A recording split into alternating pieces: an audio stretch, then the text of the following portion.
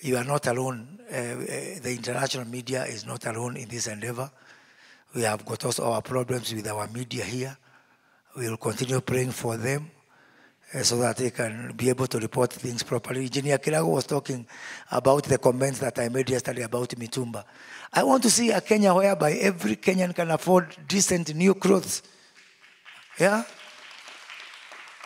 Here in Limuru, Engineer Kiragu, even in Misri, and farmers and Karanji, I want to see those people wearing clothes made here in Limuru that are affordable. And I have no regrets about that.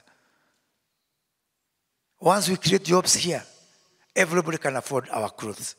And in any case, and I'm saying this because in my other capacity, I'm an exporter of clothes.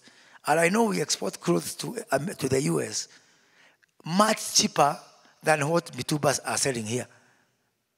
Nobody wears Mitumba because they want to wear Mitumba. One, because they don't have enough disposable income. Two, because they don't have an alternative. And three, because they don't have jobs. And I'm going to attack all those three.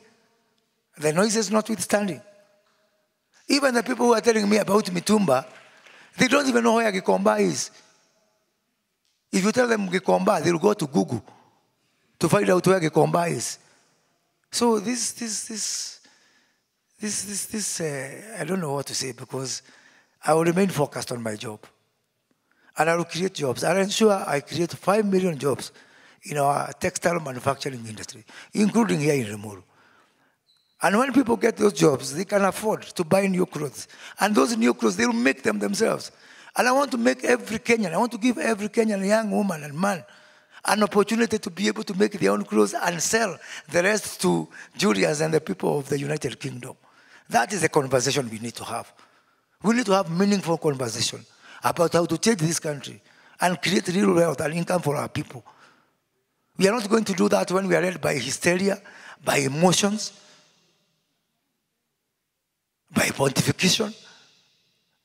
Just somebody from their air condition on a keyboard, on a, on, on a 32 characters or whatever it is, and you think you can just, you know, defocus us from our agenda. We are very focused people, and we are not going to deviate from our agenda to create jobs, to grow manufacturing, and to create real incomes for our people.